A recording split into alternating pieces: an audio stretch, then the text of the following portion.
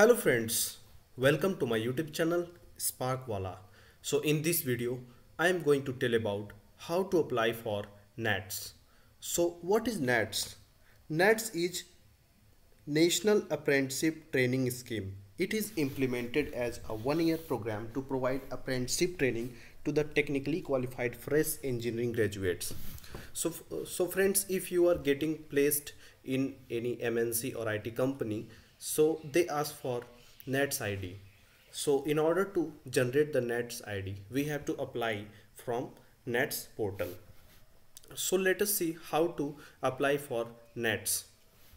So open your browser and type NATS and click enter.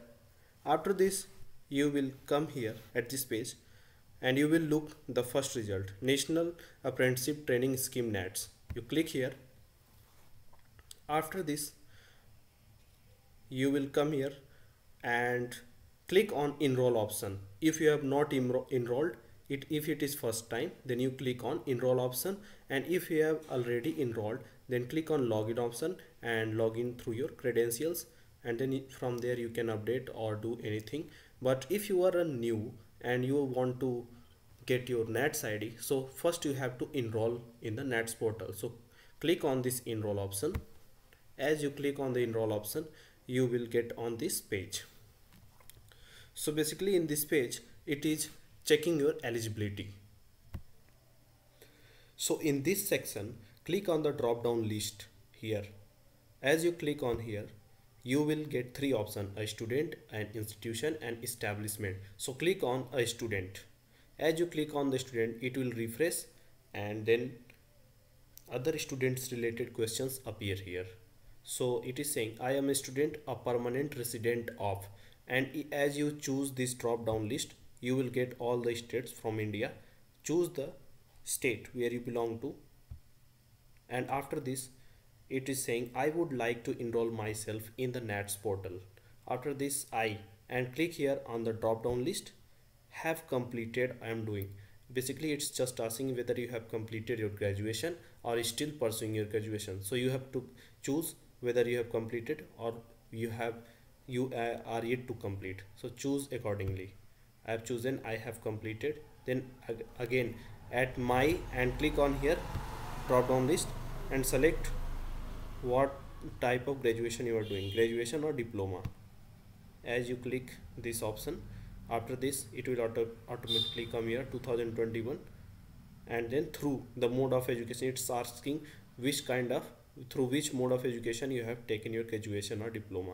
So three options will come regular part-time distance. So choose accordingly.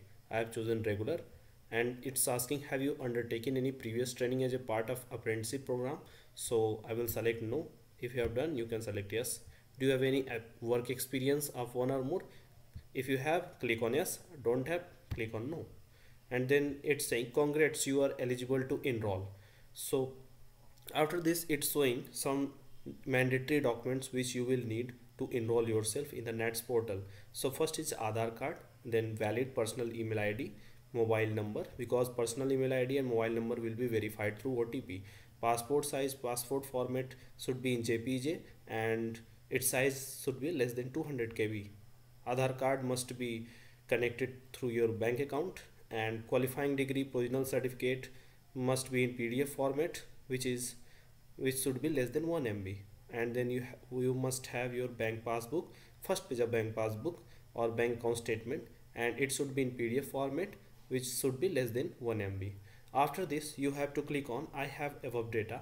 As you will click on I have above data it will show here means let's get started. Basically here they will ask your email ID phone number and they will uh, give a section to write your name and you have to set your password. So as you click on this email id section you have to write your email id and after clicking on send ops or otp it will generate otp at your email id then you have to write this otp and your email will be verified. Similarly your phone number will be come and after that after that you have to give the OTP for your phone number. As you will give the OTP for your phone number then after this it will be automatically verified. Then it will ask for name of the student. You should write your name here and you should set up a password. Set up a strong password and then again write your password and then click on save on and continue. Okay after clicking on save and continue option the questionnaire and guidelines section appears read the guidelines required enrollment documents and the terms and condition and then select the this option by clicking the box I agree to above terms and conditions. Okay and check the box. Click agree and continue and enrollment form section appears with personal information education details and training preferences. Okay so you will get a page like so there will be four sections like eligibility check questionnaire and guidelines enrollment form preview and confirm.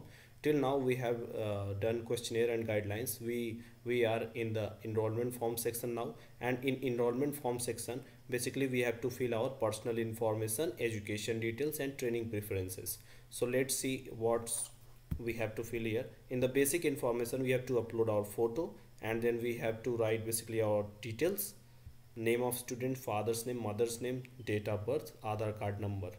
You have to select whether you are male or female or others and then we have to upload the government id card. It should be in uh, pdf format and less than 1 mb okay. So these are the details you have to fill. I think you can fill these details. Uh, similarly in com communication information also you have to fill. And after that you have to give your bank information. After this uh, when you will give bank information there is an option to save and continue option. After clicking on the save and continue option you will refer uh, redirected to next page. In the education details sections see uh, as you will fill your details the, your percentage will also increase. Like here you see uh, 50 percent. Till now we have filled two uh, three blocks like eligibility check questionnaire guidelines and enrollment form we have done personal information so it's showing 50 percent. After this we have to fill your education details. So it is uh, giving two options graduation after 10 plus 2 and graduations after diploma. If you have done graduation after diploma then you must select this option and if you have done graduation after 10 plus 2 you must select this option. After this you have to fill your details like graduate in graduate section you have to give state in which university belongs name of university and these details you can fill. It's very simple. And after this after uh, this elective subjects uh, no need to fill. If you have done you can fill. If not done then please ignore this. After this you have to upload your documents qualifying degree or provisional certificate. So friends uh, if you are in final year and you have not got your results you can upload the pdf results of 7th and 8th sem. And if it is also not available then you can uh, directly upload the third year mark sheet basically they uh, ask for mark sheet which has uh, a written statement about the uh, passing of your uh, year. So after you upload and click on save and continue you will come to uh, next page next section means you will come on training preferences so the training preferences section so, uh, will be like this. So please don't click on anywhere and don't fill anything. Uh, it is optional. You uh, you if you will not choose then also it will be good. So don't choose anything and directly uh, click on this and click on save and preview. As you click on save and preview then in this preview and confirm section uh, read the declaration and then select by clicking this box I agree to above terms and continue checkbox. Then click save and preview. After you click on save and uh, preview this will show like this uh, like this student enrollment has been created successfully.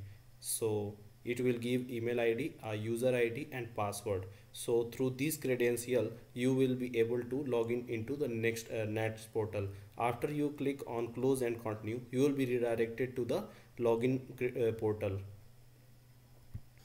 So we will be redirected to the login page. There the we can write our email id and password which we just got after the preview section and we have to enter the captcha. And when we will click login we will go to the uh, our page main page. So my profile sections will look like this when you will log in through your credentials. From here you can see what all the things uh, you can update later and whatever changes you can make all the changes you can make from here. Okay.